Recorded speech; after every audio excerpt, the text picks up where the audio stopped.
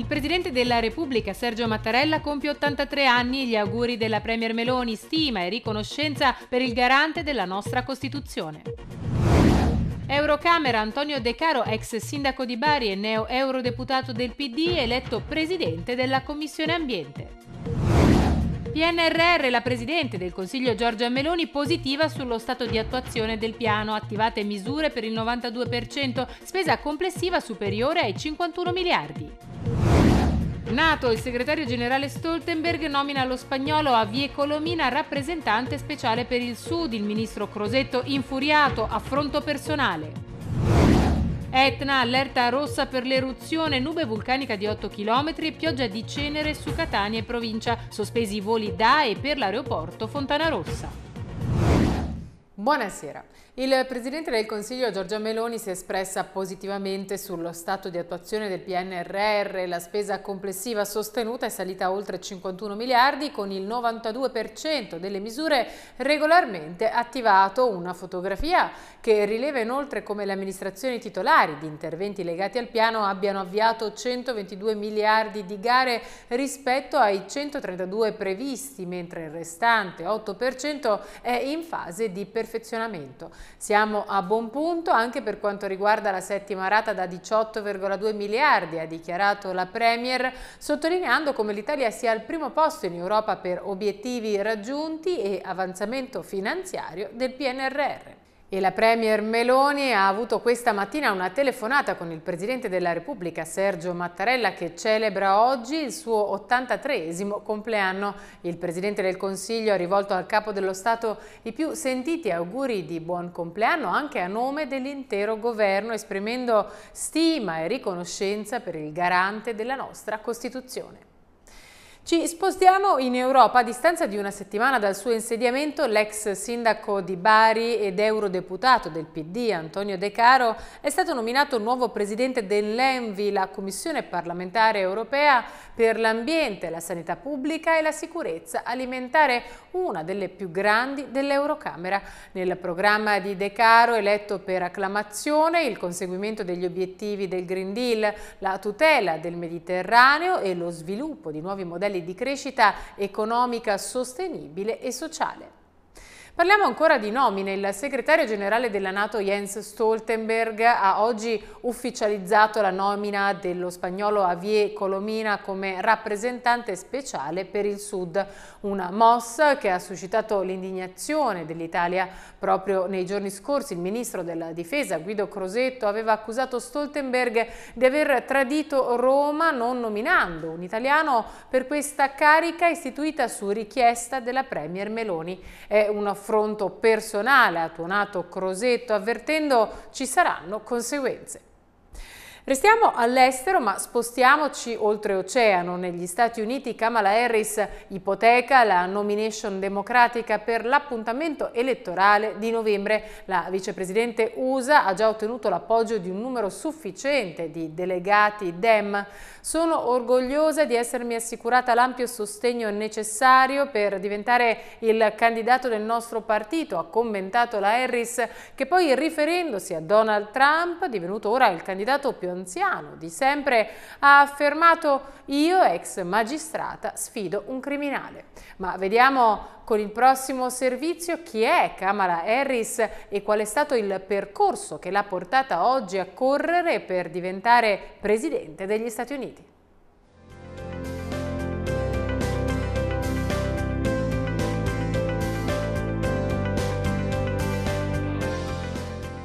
Nel 1964 a Oakland in California, si è laureata alla prestigiosa Università Howard ed è stata procuratrice di San Francisco. Diventa senatrice nel 2016 e dichiara guerra a Donald Trump, lasciando il segno con i suoi interrogatori all'ex ministro della giustizia Jeff Sessions, diventati virali. Prova a correre per la Casa Bianca, un tentativo che non ha successo anche se si impone come una delle rivali più agguerrite di Biden nelle primarie. Rimane negli annali il dibattito in cui Harris rinfacciò al suo futuro capo di essersi compiaciuto della collaborazione di due senatori segregazionisti negli anni 70. Quindi aggiunse di conoscere una ragazzina nera che riuscì ad andare in una scuola migliore grazie allo scuolabus per le minoranze, servizio al quale Biden si era opposto. Quella ragazzina ero io, disse, nonostante lo scontro fu scelta come numero due Dem. Nei panni di Vice però non ha brillato, ora sta recuperando terreno su alcuni temi come quello chiave dell'aborto. Intanto il presidente Joe Biden è tornato alla Casa Bianca per la prima volta dopo l'annuncio del suo ritiro dalle presidenziali, mentre è slittato a giovedì l'incontro con il primo ministro israeliano Netanyahu, inizialmente previsto per oggi. Torniamo in Italia e parliamo ora di porti. La DSP del Mar Tirreno centrale ha annunciato l'avvio di interventi legati al PNRR per un valore complessivo di 130 milioni. Nel dettaglio sono stati avviati nello scalo di Napoli i lavori di prolungamento e rafforzamento della diga foranea Duca d'Aosta, previsto il ripristino di un tratto della diga, ad oggi parzialmente dissestato, al fine di garantire il transito in sicurezza delle navi in entrata entrata e uscita, nonché il prolungamento della murata paraonde di circa 200 metri.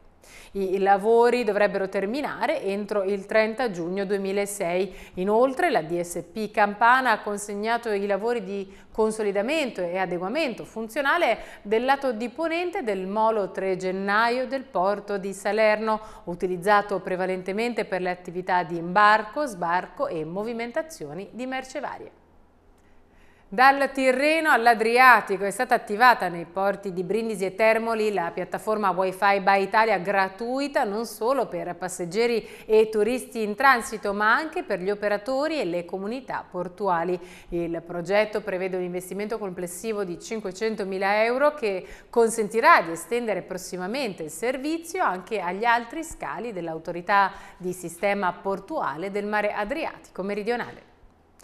Ancora disagi per chi viaggia in aereo. Dopo il crash informatico dello scorso venerdì, la situazione negli aeroporti italiani non accenna a migliorare con ritardi e cancellazioni proprio in coincidenza con le grandi partenze per le vacanze estive. Situazione ancora più difficile a Catania, dove all'effetto domino del cybercaos si aggiunge l'allerta rossa scatenata da una nuova eruzione dell'Etna per la pioggia di cenere e la nube vulcanica alta 8 km sono stati sospesi per tutta la giornata i voli da e per l'aeroporto di Fontanarossa.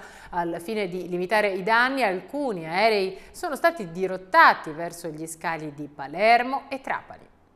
Dall'allerta vulcani a un nuovo allarme climatico. Secondo i dati di The European House Ambrosetti, il nostro paese è maglia nera in Europa in fatto di perdite economiche causate da eventi climatici estremi. Alluvioni, tempeste e ondate di calore costano agli italiani 284 euro a persona. I danni economici risultano ingenti soprattutto al sud a causa della siccità che mette in ginocchio i settori agricolo e idroelettrico.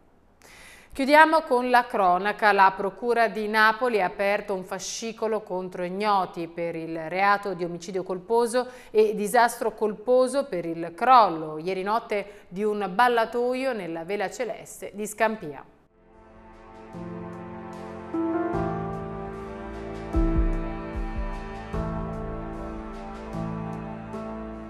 Un 29enne e una 35enne sono morti per il crollo di un ballatoio nella Vela Celeste, insediamento popolare nel quartiere napoletano di Scampia. 13 persone sono rimaste ferite, tra loro 7 bambini tra i 2 e gli 8 anni che hanno riportato fratture e contusioni. Al momento l'ipotesi più accreditata è quella di un cedimento strutturale del terzo piano che ha investito i ballatoi dei piani sottostanti. Molta gente si è riversata in strada tra il timore di nuovi crolli e l'apprensione per le persone sotto le macerie.